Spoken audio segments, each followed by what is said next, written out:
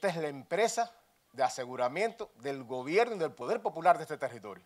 Sin usted, de la provincia, en el orden de la subordinación al gobierno, en el orden de la subordinación local, no pudiera funcionar eficientemente.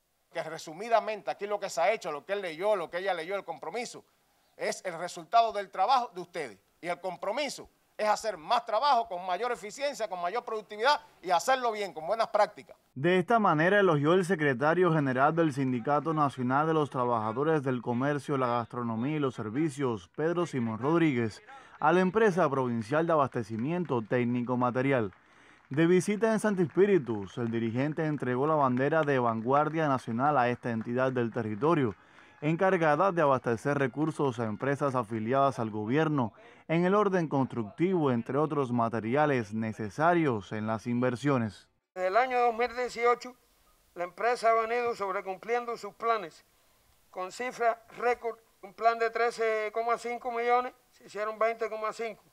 En el 2019, de un plan de 15,5 millones, se hizo un real de 22,8 y en el 2020 por el que estamos aquí ahora, de un plan de 16 millones, se hicieron 23,1, lo que representa un récord histórico para la entidad. Tenemos como proyecciones para el 2021 mantener la eficiencia económica de la entidad y la política de cobros y pagos a partir de una mayor rentabilidad en la captación de ingresos por la venta de bienes y servicios la disminución de gastos, manteniendo vigilancia sobre las utilidades. Abanderan como vanguardia nacional a Empresa Provincial de Abastecimiento Técnico Material. Manuel Pérez y Carlos Miguel Rodríguez Ramos para el Noticiario en Marcha.